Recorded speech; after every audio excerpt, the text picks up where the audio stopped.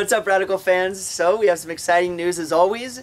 Damaged issue number three is on sale October 19th, which is a Wednesday. Mm-hmm. It is starting to get really, really exciting with this book. This one was created by Michael and John Schwarz. It is executive produced by Sam Worthington from Avatar.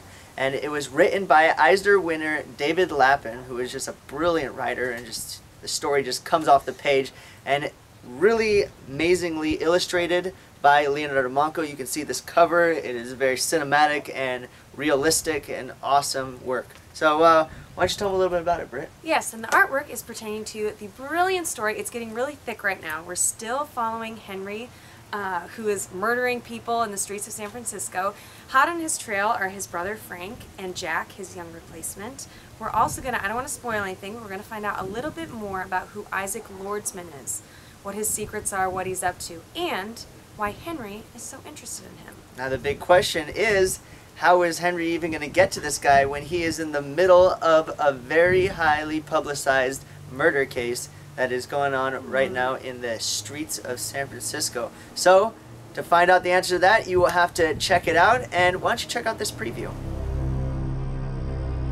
in the wake of a policeman's implication in the murder of a Russian mafia boss. Long estranged brothers Frank and Henry Lincoln find themselves strangely reunited. In the midst of an investigation, Frank, a veteran of the SFPD, struggles to protect both his vigilante brother and the city by the bay. Meanwhile, Henry takes on a secretive mission of his own. When Henry confesses to a crime he did not commit, Frank is forced to call his once clear motives into question and suddenly finds that nothing is what it seems. Alright, so if that preview didn't make you want to run out and get it, I don't know what would.